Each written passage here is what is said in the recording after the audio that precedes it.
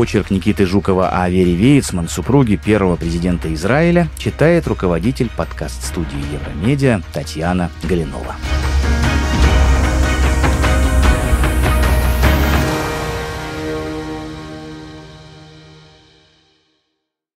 За каждым великим мужчиной стоит великая женщина, говорят англичане. Это изречение как нельзя лучше подходит к нашей истории. Вера была не только женой, но и соратницей Хайма Вейцмана в его работе. К слову, Англия сыграла очень важную роль в судьбе этой пары. Но все же началась биография Веры и Хайма в Российской империи. А главной страной для них стал Израиль, земля обетованная.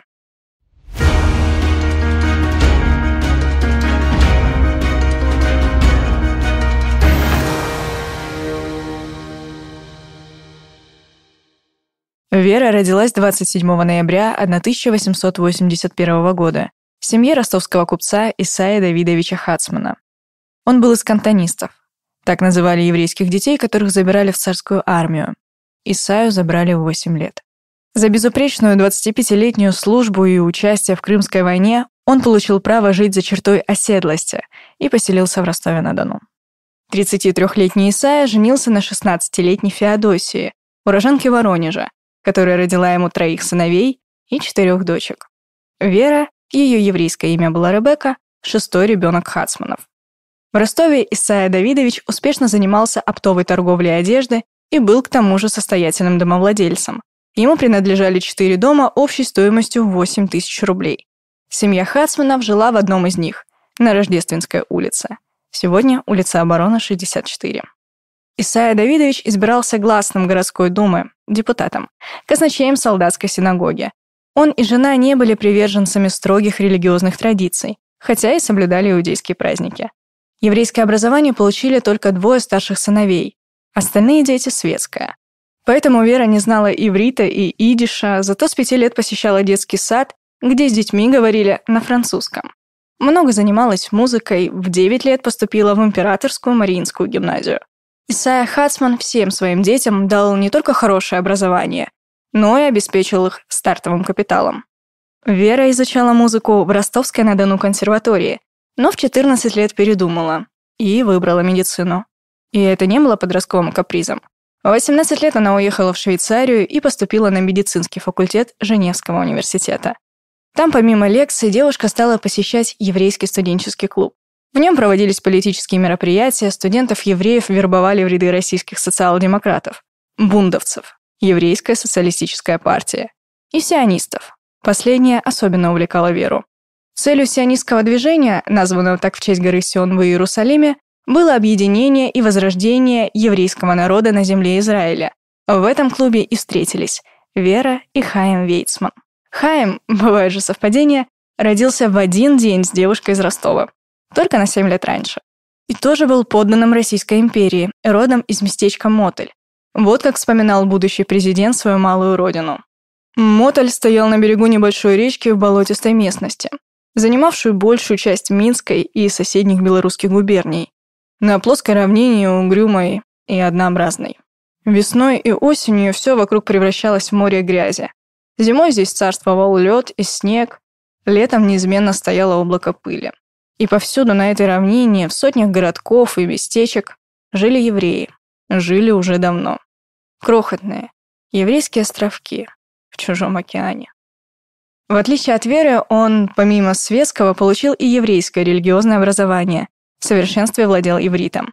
Химию учился в Германии, а в Женеве получал уже докторскую степень.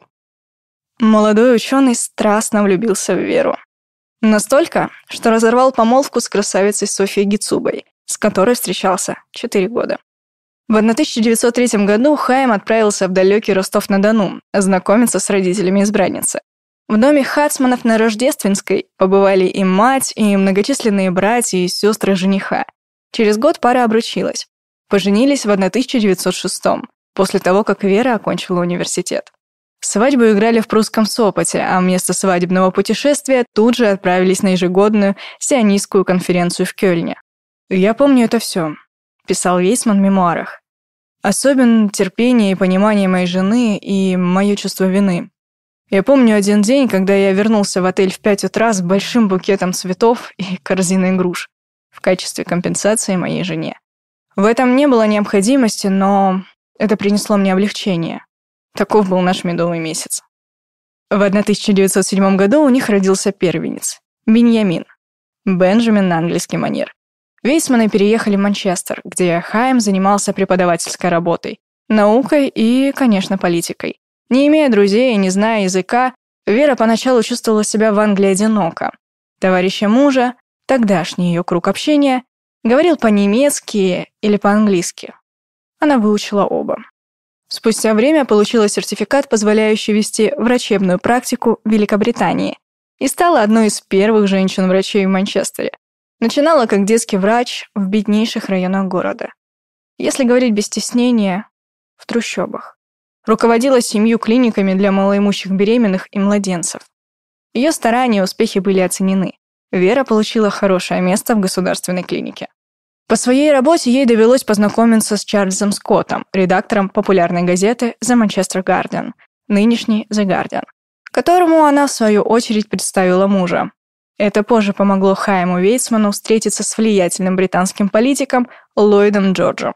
И эта встреча оказалась крайне важной как для Великобритании, так и для появления Израиля на карте мира.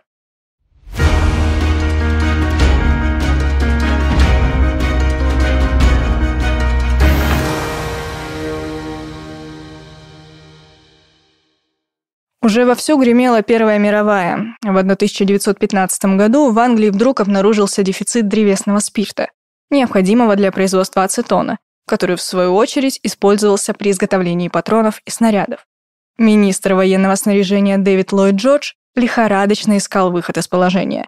Редактор The Manchester Guardian рассказал министру о талантливом химике Вейтсмане. Ллойд Джордж писал в воспоминаниях. Я сказал ему, что перед нами химическая задача, и просил его помочь. Доктор Вейцман ответил, что не знает, но постарается. «Как скоро вы можете дать мне это?» – спросил я. «Я не могу предоставить вам долгий срок. Это неотложно». Вейцман ответил. «Я буду работать днем и ночью». Через несколько недель он нашел решение, позволившее нам добывать ацетон из маиса. Ллойд Джордж заявил химику. Вы оказали большую услугу нашему государству, я хотел бы просить премьера предложить его величеству оказать вам какую-либо честь. Мне ничего не надо, ответил ученый. Но я хотел бы попросить вас сделать кое-что для моего народа. Он попросил министра помочь евреям вернуться на землю обетованную. В 1916-м Ллойд Джордж стал премьер-министром. Он не забывал своего обещания и обсудил идею возвращения евреев в Палестину с тогдашним министром иностранных дел Артуром Джеймсом Бальфуром. В историю вошла Декларация Бальфура, выражающая благосклонное отношение Британии к восстановлению еврейского национального очага в Палестине и подтверждающая намерение приложить для этого все усилия. Но вот только до утверждения декларации евреям предлагали в качестве новой родины земли в африканской Уганде. О невозможности такого решения Вейсман спорил до хрипоты, как раз с Бальфуром. «Я тогда сказал ему», — вспоминал Хайм, «Господин Бальфур, если бы я предложил вам Париж вместо Лондона, вы бы согласились?» Он помолчал, посмотрел на меня и ответил. «Ну, доктор Вейцман, Лондон у нас есть». «Верно», — сказал я. «Ну и Иерусалим у нас был, когда на месте Лондона были еще болота». В 1916 году семья переехала в Лондон, где родился их второй сын, Михаэль, Майк. Хайм продолжал свою деятельность денно и ночно. Его избирают президентом Сионистской Федерации Великобритании. Вера же участвует в создании Международной женской сионистской организации. В ней она прослужит более 40 лет. Осенью 1919-го миссис Вейсман впервые посетила Палестину и ужаснулась. В каких нечеловеческих условиях там жили евреи-первопроходцы. Конечно, особенно тяжело приходилось женщинам и детям. Мы поняли, что нужно предпринять что-то радикальное, запишет Вера. Нужна была организация, способная решить эти проблемы. Через два года Хайм Вейсман избирается председателем Всемирной сионистской организации. Несколько десятилетий он будет возглавлять эту самую важную еврейскую политическую структуру, а после того, как к власти в Германии придут нацисты, направит всю свою энергию на спасение немецких евреев. Начало Второй мировой войны принесло Вейсманам личную трагедию. В феврале 1940 года Погиб их младший сын Майкл. Летчик британских ВВС, он был сбит на Бискайским заливом у берегов Франции. Чтобы справиться с душевной болью, Вера пойдет работать добровольцем в приют Красного Креста. В это же время она создает в Британии отделение сионистской организации. Они занимались спасением еврейских детей, юношей и девушек от нацистов. Вывозили их в Палестину и селили в кибуцах и молодежных деревнях. Так удалось спасти более 22 тысяч евреев из Европы.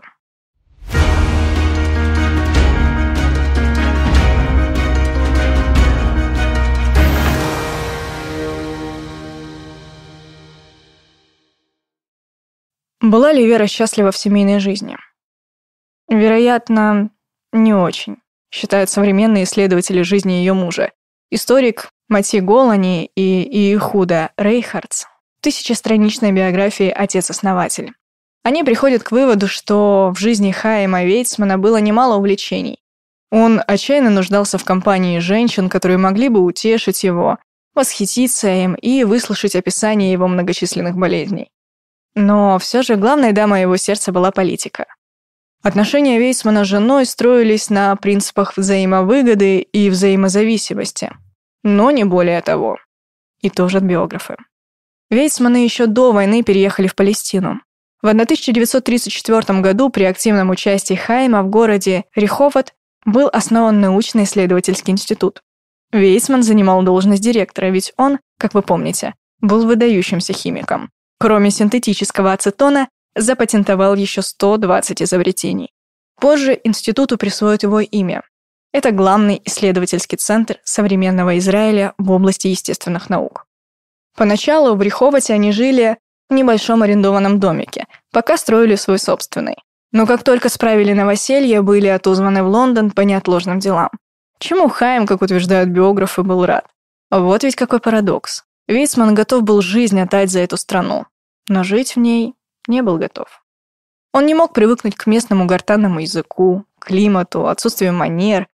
Десять лет они жили на две страны, отъезды по неотложным делам продолжались до 1944 года. Благодаря многолетним усилиям Хайма Вейцмана и его единомышленников в 1947 году ООН приняла решение по разделению Палестины. 14 мая 1948 года Израиль провозгласил независимость. Египет, Иордан, Ирак, Сирия, Ливан не согласились с этим и ввели войска на территорию Палестины. Бои шли больше года, до июля 1949 года. Израиль захватил западный берег реки Иордан, пустыню Негев.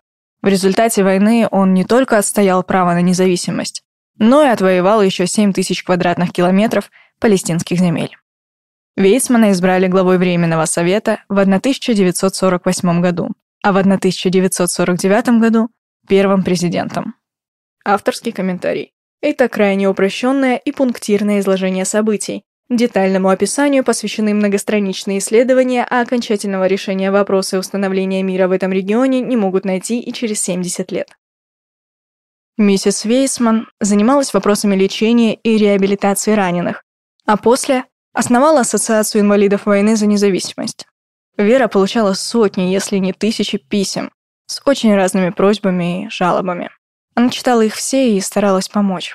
Иногда приезжала к жалующимся лично, чтобы воочию оценить масштаб проблемы. Моя задача – подталкивать правительственные ведомства к тому, чтобы люди могли получать хотя бы ответ, говорила она. Ее старания соотечественники ценили очень высоко. Еще при жизни в ее честь назвали терапевтический институт в Тель-Шумере. Когда иностранные компании решили дать денег на строительство нескольких культурных объектов в Израиле, Вейсман высказался резко против. Хотят построить три здания стоимостью 150 тысяч долларов. Одно из них кинотеатр в Эйлате. Но наши предки не думали о развлечениях до того, как построить дом. Эйлат может существовать без театра, но не может без детских садов, школ и даже игрушек. Желательнее было бы, например, улучшить жилье новых иммигрантов, увидеть в наших квартирах более просторные кухни, в которых можно есть. Самому Хайму Вейсману президентство давалось трудно. Сказывался возраст и застарелые болячки. Когда они окончательно переехали в свой новый дом, главным для Веры стало здоровье и покой мужа. «Если я смог выполнять свою роль, не задумываясь над финансовыми и бытовыми вопросами», — говорил президент, «я должен благодарить за это мою жену. Несмотря на все попытки Вейцманов преуменьшать пышность своего жилища и его значение, жители Риховата сразу же нарекли его дворцом. А после назначения Хайема на пост президента стали называть Белым домом. Мебель и предметы искусства были привезены из Англии и Франции. В гараже стоял Форд Линкольн Космополитен 1950 года, выпущенный всего в 18 экземплярах. Спустя годы дом Вейсманов признают архитектурным шедевром. Его включат в престижный список Iconic Houses, в который входят наиболее выдающиеся здания мира. Однажды в этом доме Вера давала интервью английскому журналисту. Вот как он описал свои впечатления от встречи с первой леди. Приятно сидеть в мягком кресле и слушать журчание воды из фонтана в саду и порывы ветра во французских окнах. Самое интересное, что этот дом, построенный знаменитым архитектором Эриком Мендельсоном, был спроектирован самим доктором и миссис Вейтсман. Она не любит публичные выступления и фотографироваться. Вот почему я еще сильнее был удивлен и восхищен ее красотой. Молодой фигурой и легкой походкой. Она говорит по-английски с легким русским акцентом. У нее по-британски сдержанные манеры и ход мыслей. Видимо, сказываются многие годы, проведенные в английском обществе. О Вере Вейсман можно сказать, что она нетипичная еврейка. Хотя каждый момент ее жизни, начиная с медового месяца, был определен судьбой иудаизма. Миссис Вейсман любит музыку. На ее замечательном пианино играли известные музыканты со всего мира. Еще она любит читать и не перестает учиться. По воспоминаниям Голды Мейер, первый посол Израиля в СССР, премьер-министр Израиля, Вера была очень интеллигентной и высокомерной женщиной. В трехэтажной резиденции имелась небольшая комната, спроектированная специально для Веры. Она любила заниматься здесь составлением букетов. И каждый высокопоставленный гость получал из рук первой леди букет из цветов, соответствующих цветам флага его государства. Переизбран на второй срок, Вейсман был в 1951 году, а через год он умер. Вера пережила мужа на 14 лет и дожила до 84. До последних дней ее дом оставался самым престижным светским салоном Израиля. Затем в нем открыли музей и архив президента. Миссис Вейсман продолжала свою работу, поддерживая деятельность государственных и благотворительных организаций. Побывав во множестве стран, однажды посетила она и первую родину, Поездка числилась официальной, но была у Веры и важная личная цель попасть в Россию. 7 ноября 1952 года у посольства Израиля в Москве была замечена подозрительная гражданка. Она смотрела на приспущенный бело-синий флаг и тихо плакала. Это была родная сестра Хайма Вейцмана Мария. Она оплакивала умершего брата. Мария была единственной близкой родственницей президента, оставшейся в СССР. Ее не трогали, но внимательно присматривали. Ценнейший заложник. Когда Хайм скончался, сестру взяли в оборот. 23 февраля 1953 года, после многочасовых ночных допросов, она призналась, что является еврейской буржуазной националисткой и проводит уражескую работу против советского государства. Над ней навис жестокий переговор, но 5 марта умер Сталин. Марию и ее мужа освободили, однако уехать в Израиль не позволили. И тогда в 1955 в Москву на помощь родственнице прибыла президент израильской скорой помощи Вера Вейцман. Великая женщина, которая прожила свою жизнь для других.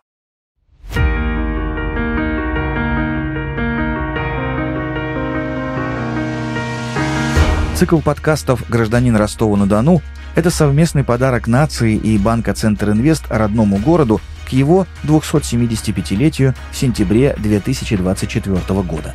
В рамках проекта мы даем голоса очеркам из одноименной книги, созданной нами ранее.